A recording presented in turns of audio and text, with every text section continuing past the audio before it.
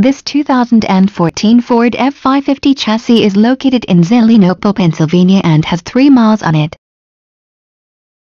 This Ford F550 chassis has a beautiful red exterior paint color which is complemented by a steel interior color. For more information on this great Ford F550 chassis please click the link below.